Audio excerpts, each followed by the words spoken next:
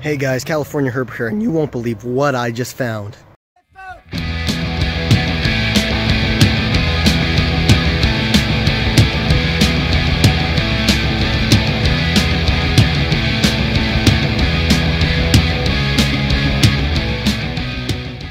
Hey, California Herper here, guys, and uh, I'm over here in Riverside visiting some family, and I'm on their property, and all day I've been finding these guys.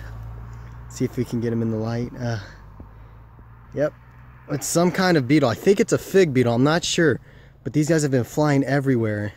You can see this guy is very much alive and thinks he's getting attacked, but uh, he's not. Um, this is real cool. I mean, I'm not a big fan of beetles just because I've never gotten really into them, but uh, this guy is cool. They're metallic green and uh, I've been finding them everywhere, all over the plants and stuff. I, I'll upload some more uh, pictures and stuff for uh, you guys to see them more clearly. But yeah, I've been finding them all day. It's crazy.